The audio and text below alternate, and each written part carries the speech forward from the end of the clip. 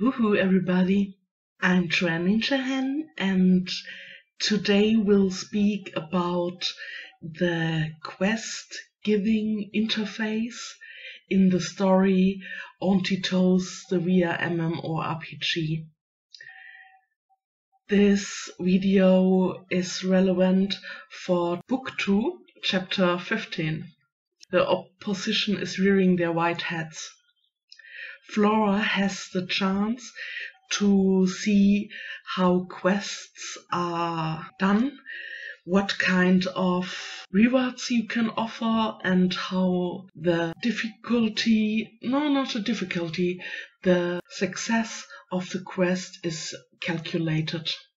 Together with the Bishop Nomiso, they created a quest for the restoration of the shrines for the context, you can stop now if you don't want to get spoiled, yeah. The shrines of the Church of Evelyn were under attack and some were broken or defiled.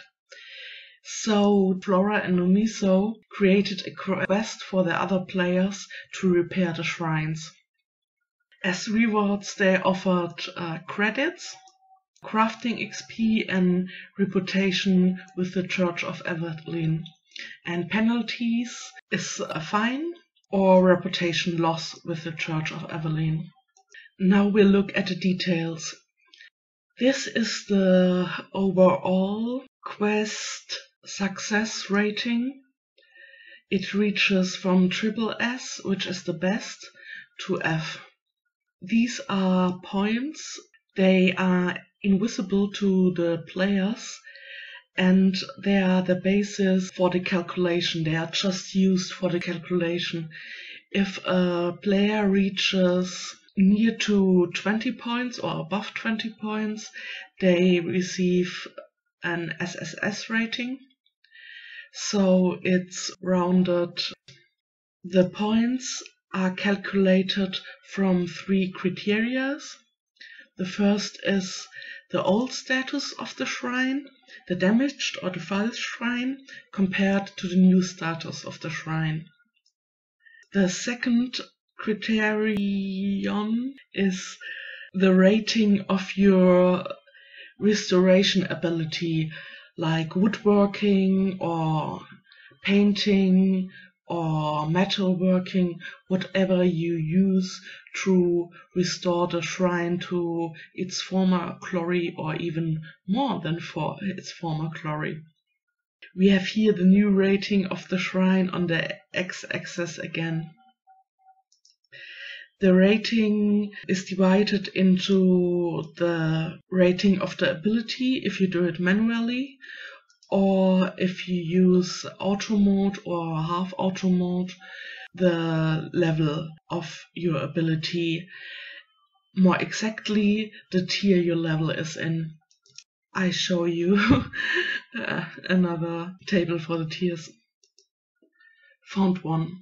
So T1 is uh, from level 1 to 24, tier 2 25 to 49, and uh, so on. These are just the tiers of the first realm. But the quest is just for the first realm, so ignore the materials. it was just uh, the table I found with tiers in it. Alright. So, like I said, level of the restoration ability above or below the level of the shrine. The third criterion is the difference in status rating.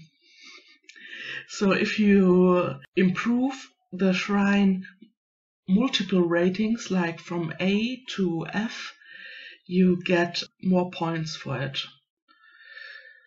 So I prepared a few examples. We are on the Cradle, the starter planet. It's from level 1 to level 5 and the shrine has a level of 5 so it's in tier 1 and our first example is a diligent worker. Their crafting ability is level 15 the current rating of the shrine is F so it's pretty much totally destroyed. The worker works hard and gets it up to B. That would be the first table. Old status is F, new status is P, and they receive 8 points for their toil. These are the 8 points. Second criterion, P1, 2 and 3 are the three criteria. So they have their crafting ability in the same tier, level 15, then the level 5 shrine. New rating of the shrine is B. They receive 8 points again. P3 is the difference in status. F, E, D, C, B for letters difference. So that's 10 points. The sum is just all the p's divided through 3 is 9 points and 9 points is uh, between A and B and we round it up. So our diligent worker completed the quest with a completion rating of A and receives 500 credits as a reward, 15 reputation and 15 extra crafting XP for their work. The second example is uh, not giving all, but mm, pretty okay. They have a very high level in crafting, but bring the same results than our diligent worker. So they only receive a rating of B. The difference lies in P2 because P2 has the level in it, the level of the restoration abilities. Example 3 is a player who thinks Oh, I visited a shrine. Uh, the shrine is not really damaged, but it's not that beautiful, so uh, I do a bit to freshen it up. They receive a quest rating of C uh, for this because the quest is for the hard cases, for the difficult cases, for real restoration and not just uh, freshening up a bit the already okay uh, shrine. Example 4 is somebody who came to a shrine who was in a very good condition.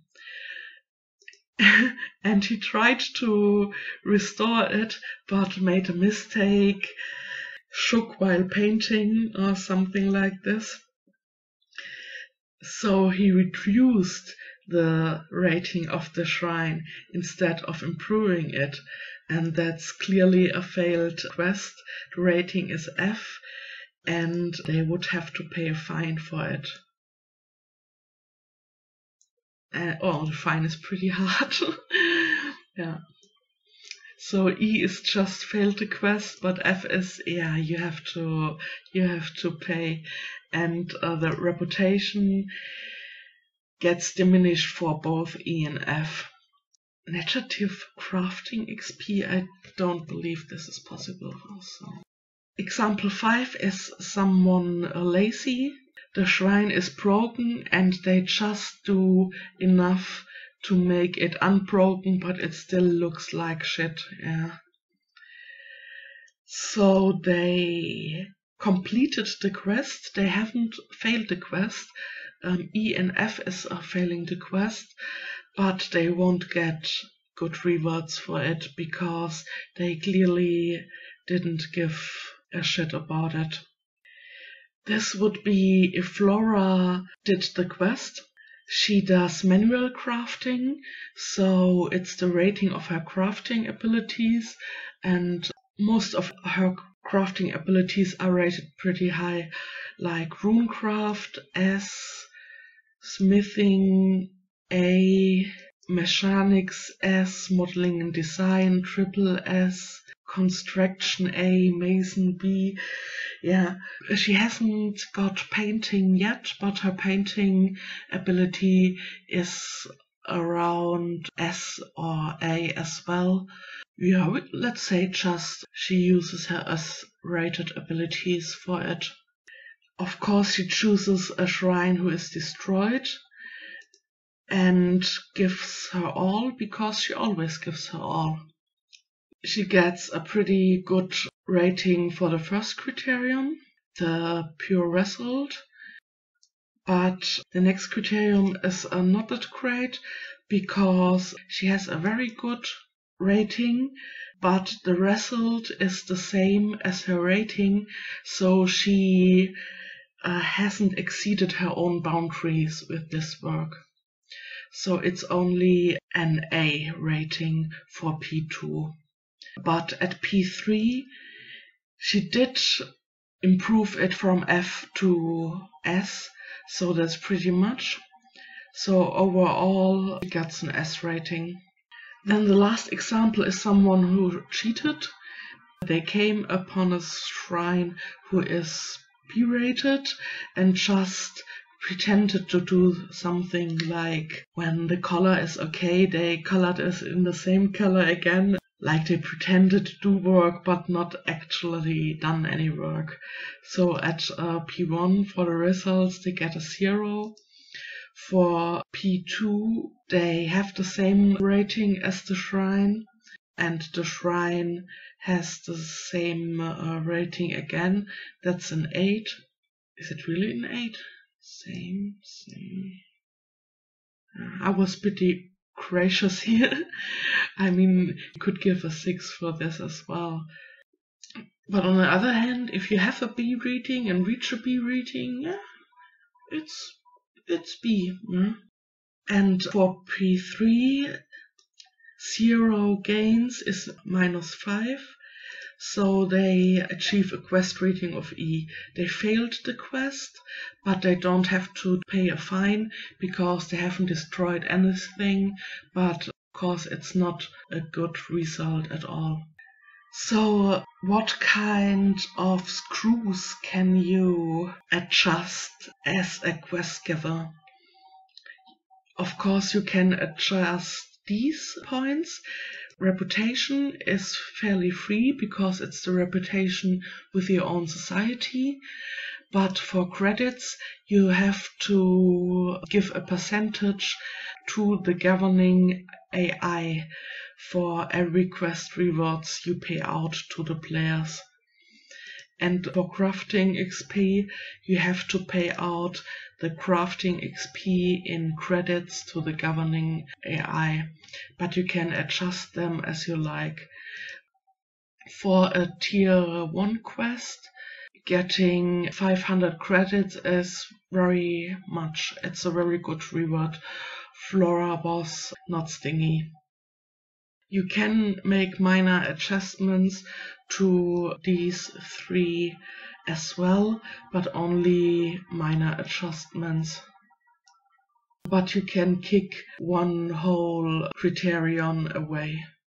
If you say, ah, okay, I want want to reward the abilities of the players and how much they exceeded them or underseated them. I just want to reward the results. Uh, that's alright as well.